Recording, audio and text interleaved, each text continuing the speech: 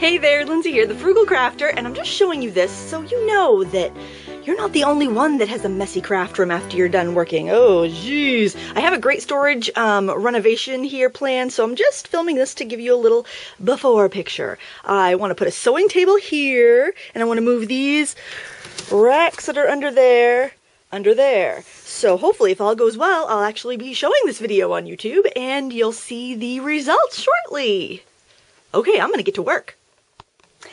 Step two, I've put four of the um, plastic carts under there, plus some of the stuff that was stacked on top. My cabinets of pastels and uh, basket of knitting stuff is under there. You can see the big space that I will be able to put my sewing table.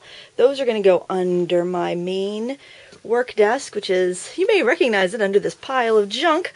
Um, but under here I had some cube units I'm going to keep one of them, the other ones I've taken apart, and all this mishmash of soap making, candle making supplies, various odds and ends, they're all going to be put somewhere. So uh, I just want to show you that step two. The next time I come back, we'll have the full reveal. How exciting! Looky, looky! I've got a sewing nook! Yay! Do the happy sewing nook dance! Check it out! Isn't that cool? Look at this. I've got a table. I've got a sewing machine. What else could a girl want? Um, so basically, uh, what I showed you before, I had a wall of plastic crates here.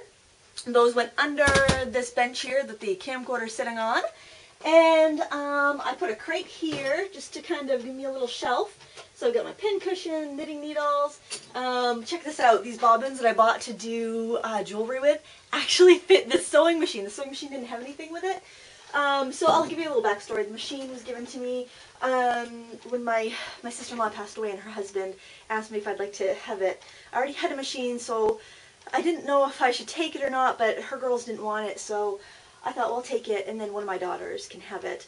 Um, I also don't think a sewing machine should be left in a box because I think they'll rust and just get all dusty and yucky. So I got it running. It took a little while, but basically just moving the knobs all around and oiling it and running it through few pieces of fabric through it, got it going again, and um, it's working great. So what I have here on the wall is this bulletin board that I had made. I just basically took an old frame and decoupaged some scrapbook paper to it. I took a piece of foam core and decoupaged pattern pieces to it, and I just stuck it in the frame and made some little push pins, and then I can just stick up my little project ideas. I also use this at the craft fair. I pin my earrings to it on little cards and works great. Um, I plan on making a shelf here, but that's going to have to wait. Um, and there you have it. It's my sewing nook. Now, you're probably thinking I just shoved everything on the other side of the room so that, you know, I'd, I'd have it all looking clean and everything for the camera. But, oh no, my friends, I actually cleaned. It was really bad this weekend. Oh my gosh. Well, you saw it. You saw it from the, the, uh, the before shots. So there's the, uh, the cockpit there of the USS Stamper Prize where I sit and work. Hot glue gun at the ready, of course.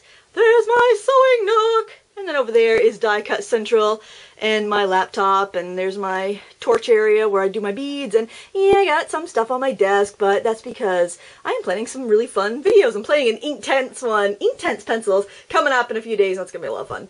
And um, yeah that's pretty much it. I got some huh, ooh some jewelry I need to package.